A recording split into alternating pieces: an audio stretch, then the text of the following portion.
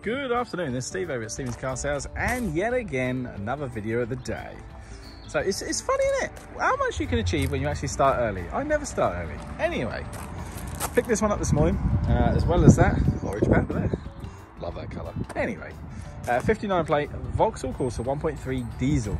Okay, diesel. Diesel is the best thing to buy if you want super super awesome running costs. So really high miles per gallon um, and yeah, but yet a small car. So if it's just for commuting, etc., ideal car.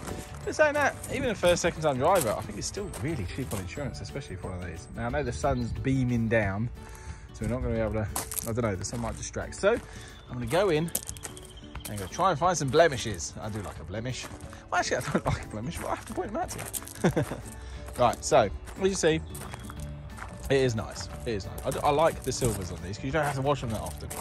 It's simple. When you get a black car, you know, washing that for ages. Um, but fair, I do like black, oh, that BMW. I saw that the other day. Oh, lovely car. They're coming down. Anyway, getting back to the Corsa. So, 59 plate, 1.3 diesel, It's got 110, I believe, on the clock. Uh, because you can see, it's used for commuting. So, commuting cars come with blemishes. Now, let's try and find some. We have there, there, these are just your usual stone chips on there. I'd advise a bit of touch up. But to be fair, if you're doing sort of commuting miles, you should always have a little touch up stick just to take care of these. Um, but yeah, walking around, the odd little tiny little marks here and stuff. You're gonna get it. I mean, it's got 110,000 miles on the clock. Um, but there we go. So you see this along the boot line there. Again, a little touch up skit, a skit, a skit. Don't get a skit. touch up stick. Okay, you can give them Halfords or anything like that. Just give them the reg and they give you the colour. Uh, but that's obviously where stuff's just been getting in and out the boot, in and out of the boot. Okay. Now, I've not valeted this car yet, but it come in that clean already anyway. So, uh, it comes with mats and, lo and behold, a tyre. I know, it's so rare. All your jacking tools are in that side. Uh, even that's not broke. Usually they break all from the um, castle shelter. Now, oh yeah, there we go. Got a little bit of a curvage on the alloy there.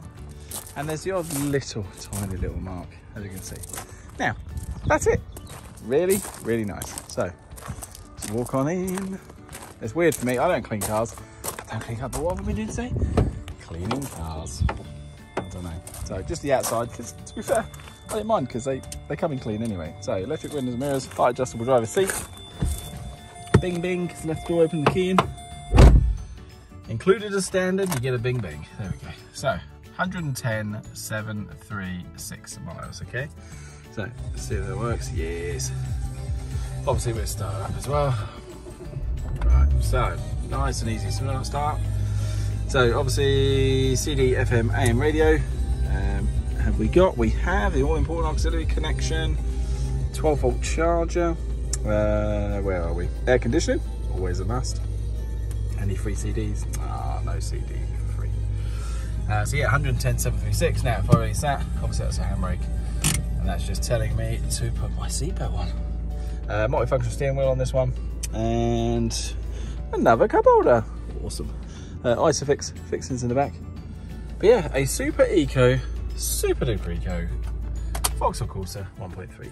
In here, yes, um, manuals, etc. All service history is inside the office. So yeah, my name's Steve over at Stevens Car Sales, and uh, you can literally, literally, see now I'm, I'm, I'm, multitasking. I'm trying to think of other things I've got to do today. So if you go onto my website, stevenscarsales.co.uk, at the top of that webpage there's a book, a click and collect, okay? So all you have to do, if you want to come down and test drive it and then take the car away, uh, click on that button, select your day, select your time, obviously because my gates have to stay closed uh, until April the 12th at the minute. Uh, but you're allowed in for the click and collect side. Okay, so um, yeah, any questions on this? My name's Steve. Have a good day.